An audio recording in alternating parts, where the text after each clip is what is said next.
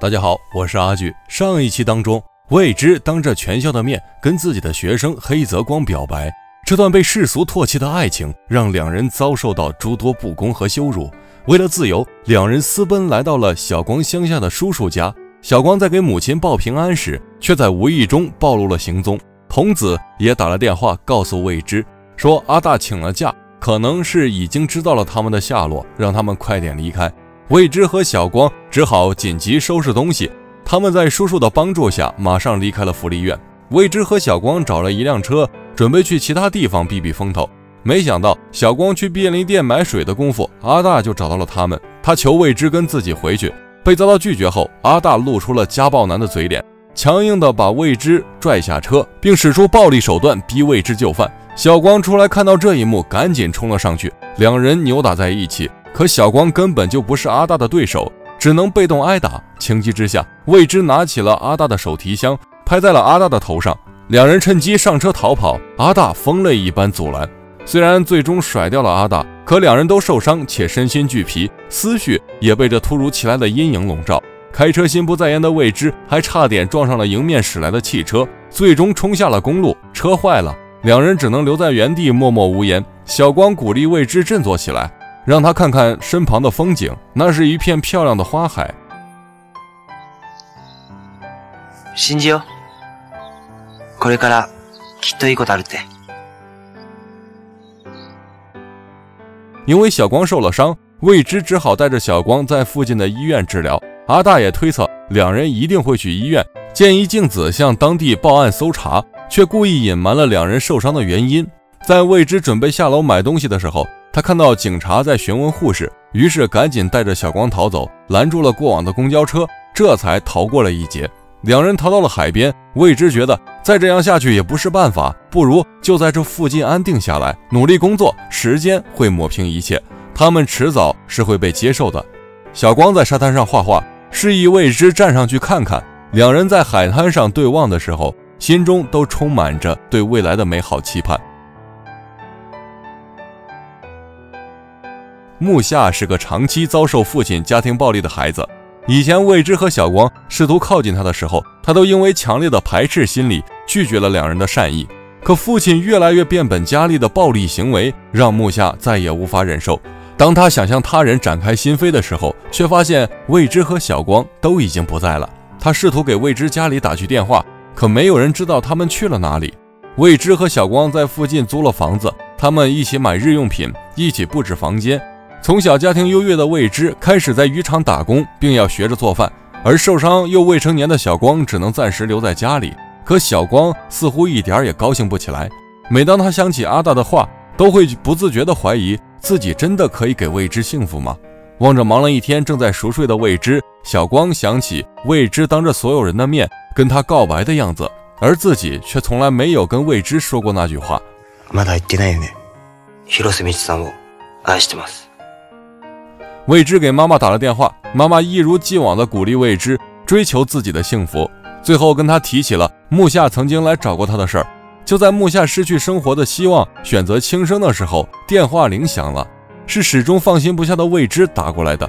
未知跟小光说起了木下的事儿，小光想要救他，可未知担心两人回去就会被家人发现抓走，贸然前往实在不是个好办法。可第二天。两人却不约而同地出现在了车站，因为两人都无法对木下的事坐视不理，准备独自前往。考虑到小光身上还有伤，未知提出让他自己一个人去。小光托未知给木下带去一本叫做《友情》的书。未知赶到木下家时，木下的父亲正准备对他实施新一轮的暴力。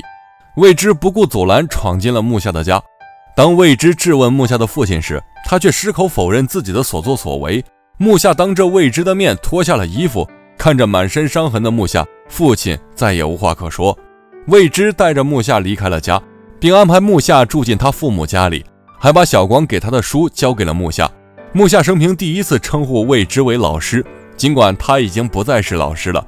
现实真的很讽刺：一个被世人称为魔女、不配为人师表的人，在离开学校后，依然在担心和解救自己曾经的学生。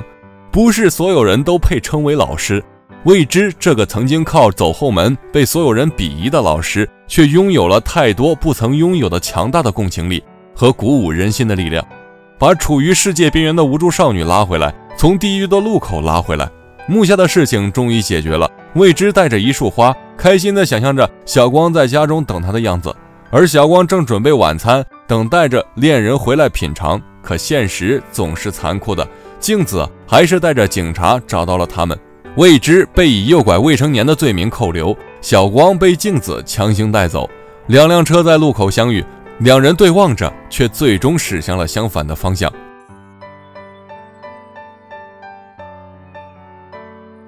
被收押之前，需要上交身上所有的东西。未知摘下了身上所有的首饰，却偷偷藏起来了那枚戒指。那是他灵魂的来源，也是他活着和坚持的动力。所有人都觉得未知脑子有问题，将他带到精神科诊断。女医生询问时，用了大量侮辱性的问题来引导未知承认自己有精神疾病，还认为他去高中当老师就是为了和年轻男子交往，怀疑他有恋少情节。好きになった人が17だっただけです。それだけで犯罪者になるんですか？警察去医院询问小光，小光坚持说他跟老师是你情我愿的，并非是老师诱拐欺骗。其实 只要小光坚持自己是出于自愿，过不了多久，未知就会被放出来。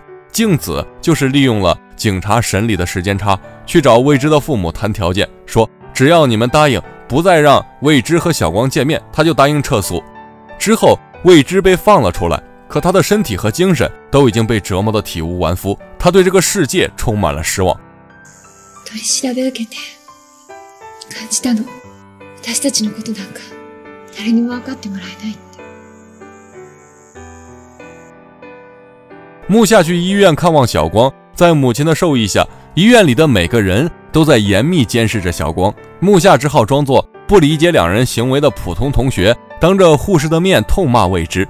另一边，阿大来到未知的家里，依然希望可以和未知如期完成婚礼，被未知的父亲拒绝。阿大酒后找到了童子，童子知道阿大永远都不可能爱上他， 只不过把他当做发泄的工具罢了。在木下和童子的帮助下，小光逃出了医院，终于跟未知见了面。童子看着未知幸福的样子，产生了邪恶的想法。镜子逼问木下小光去了哪里，可木下坚持不说。就在这时，童子打来了电话。未知和小光在摩天轮上相互依偎，却不曾想，等待着他们的将是新一轮折磨。未知再次被警察带走，这一次他在藏匿戒指的时候不小心将戒指弄掉了。他哀求他们让他留下这个戒指，可是回应他的只有冷漠和继续接受精神科医生的询问和建议。病気になるんですか？教師が教え子を愛したら病気になるんですか？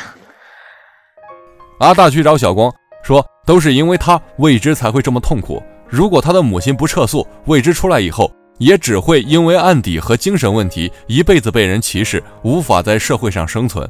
为了救未知，小光告诉妈妈自己已经不再喜欢老师了。为了证明自己说的话，小光亲手烧掉了跟老师的合照。未知出来的时候。镜子就在外面等着他，说要带他去一个地方。机场大厅里，小光在等他。小光决定去美国留学，还当面扔掉了未知当做宝贝一样的戒指。未知当然知道小光是在骗他，他求镜子告诉他小光的联系方式，但镜子认为只要小光离开未知一段时间，就一定会忘掉这个女人，没人可以从他身边抢走小光。なたは母親なんかじゃない。嫉妬に狂った、ただの女です。身心俱疲又痛失所爱的未知，终于支撑不住，晕倒了。 醒来后，却得知自己已经怀孕的消息。木下把小光留下的戒指串成了项链，让未知挂在身上。原来，小光在走之前寄给未知的信，说明了自己不得不说谎的原因。他会在美国好好读书，考取医科大学。等到他成年，他会回来接未知。那样的话，周围人对他们的认可度也会更高一些。其实，我觉得到这里结局的话，再加上个一年以后，小光成年回来跟未知和孩子团圆，就是个相当不错的 happy ending。可惜啊，编剧可能有狗血 KPI，接下来就要开始狗血大虐了。这封信被未知的爸爸藏了起来，并没有让未知看到。未知知道当时是童子告的密，问他为什么要那样做。童子坦诚自己嫉妒未知，从小什么都不缺，被周围的人无条件的爱着。他也想让未知尝一尝自己想要的东西得不到是个什么滋味。镜子因为长时间操心儿子的事，无暇去管理医院，也因为女人的身份，长时间依赖那位医生。理事会的大多数人对于镜子的理事长职位很是不服气的，于是借着医院赤字经营的事，罢免了镜子理事长的职位。得知未知怀孕的爸爸让未知打掉孩子，可未知坚持要生下来。妈妈也为了未知第一次反对爸爸的专权蛮横，却被爸爸掌锅。未知不想再让身边的人因为自己而受到伤害，于是离家出走，决定独自生活。木下偶然发现小光之前的家庭教师在未知家的信箱里放了一封信，信上是小光在美国的地址以及电话。木下打电话给小光，告知他未知怀孕并且离家出走的事儿。小光紧急回国，跟木下一起寻找未知的下落。因为跟学生相恋的事情在行业里传开，所以。就根本没有学校愿意雇佣未知，他只好去餐厅后厨打工，至少餐厅可以提供宿舍给他。可是心怀不轨的店长竟然见色起意，企图强奸未知。未知跑的时候就把脖子上挂着的戒指弄掉了。好巧不巧，小光正好找到这个附近，在帮小孩捡球的时候，他发现了小女孩身上挂着的戒指。终于找到了餐厅的宿舍，却被隔壁告知未知刚刚搬走。找不到未知的小光来到了两人之前经常约会的广场，其实未知就在不远处，但是两人都各怀心事，就擦肩而过了。就在小光坐上出租车要离开的时候，未知看见了他。怀孕之后的女主真的很惨很倒霉，一会儿差点被猥琐店长强奸，一会儿又要去狂追男主的车。就在未知摔倒无助的时候，小光冲了回来。